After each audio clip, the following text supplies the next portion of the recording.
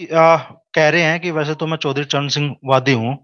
अमरीश भाई पर भाईचारा 2013 में कहा था? कवाल कांड के वक्त। अब दरअसल जो बीत चुका उस पर ज़्यादा बहुत गहराई में जाएँगे तो बात ठीक नहीं होती।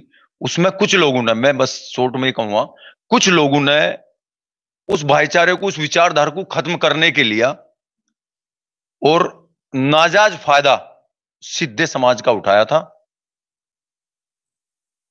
और उसका जो फल है, वो आप सब लोग देख भी रहे हैं।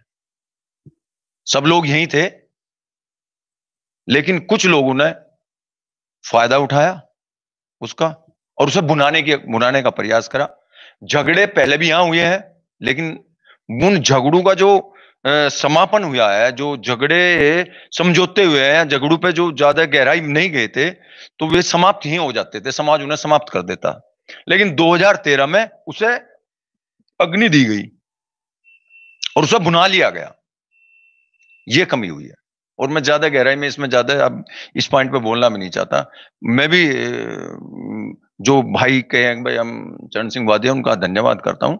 लेकिन वो उस विचारधारा को देखें, उस विचारधारा पे चलें, जो चौधरी चरण सिंह जी हमें देखे गए थे, जहाँ धर्मवाद और जातिवाद बिल्कुल नहीं था, जब बस केवल और केवल किसान की बात होती थी।